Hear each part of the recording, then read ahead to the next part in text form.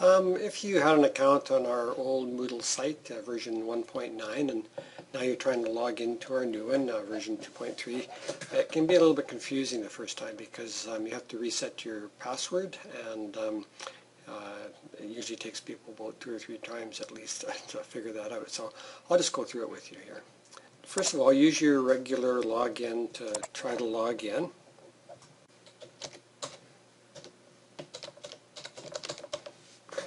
And what will happen is when you hit the login button, uh, you'll get an, an, error message that says um, that the account was imported from another server and the password has been lost.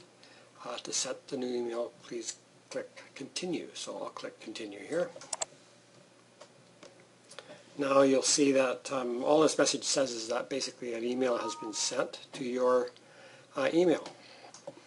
And hopefully when you check your email, you'll see something from admin user. Now, if it doesn't show up within like 30 seconds, it's probably being filtered through, um, you know, maybe into your junk uh, filter or folder if you have one, or spam filter.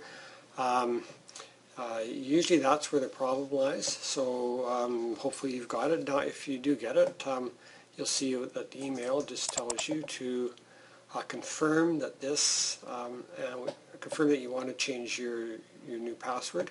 And so you just click this and that confirms that you want to change it. So you haven't changed it yet, you just confirm it, yes, uh, it's me and I want to um, change the password. So we click that link there and you see that um, the um, basically the system now knows that you want to change it. So now they, they're giving you another message saying, okay, we've sent you an email with a temporary password in it. And if you click continue here, um, login screen, but you don't really know what your new password is yet, so it doesn't really help you a lot. So I'll go and look in your email again. And you'll see there's another uh, email waiting for me from the admin user, and I'll just click on that and see what it is. Um, okay, so they tell you the user login, and they give you this weird password here. Um, because it's got all these, could have all sorts of weird characters in it, I find that it's just easier if you, so okay, I'm going to copy that. And now I can use that to log in. And what I'll do is I'll go, I'll use this link to get to a different login page than the one you just saw. Um, I get back to this login page, or you can just go back to the one you, you opened, and and we'll just paste that goofy looking password that they gave us there, and we'll click login.